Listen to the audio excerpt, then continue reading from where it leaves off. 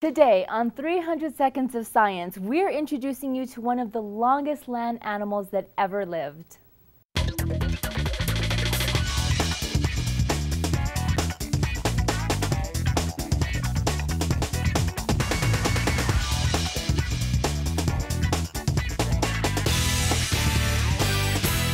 Three hundred seconds of science starts right now. Last time we met up with Justin, he challenged us to find the answer to this question.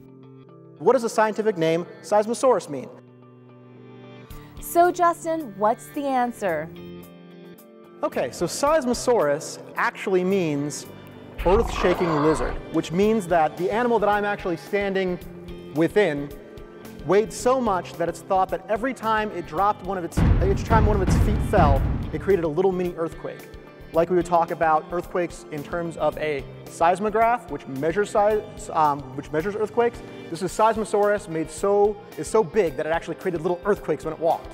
And it was so big, actually, I'm at my head here is about at its knee. So this animal was huge, over 110 feet long, and probably weighed tens and tens of tons.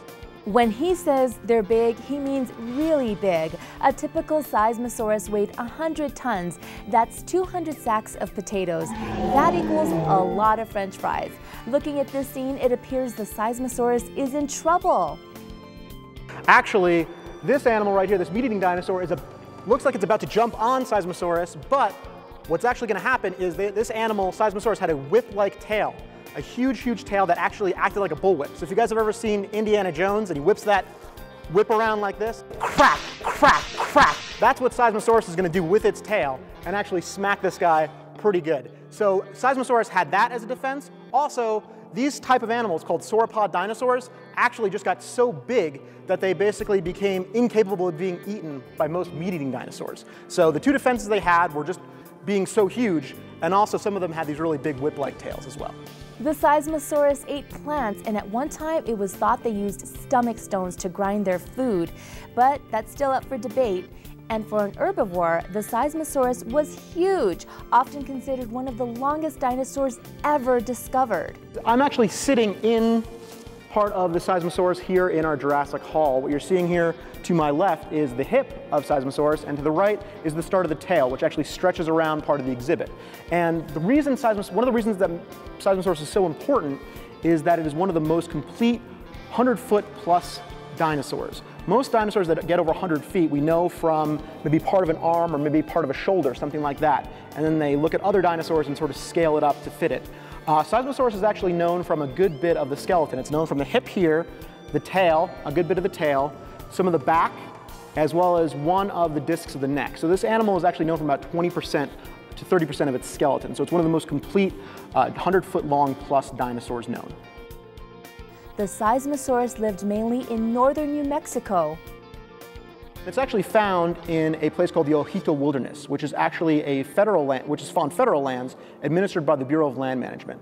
And so this Seismosaurus is actually collected in the mid-1980s. It's one of, one of the first projects the excavations that the museum undertook after it was formed in the, in the 1980s.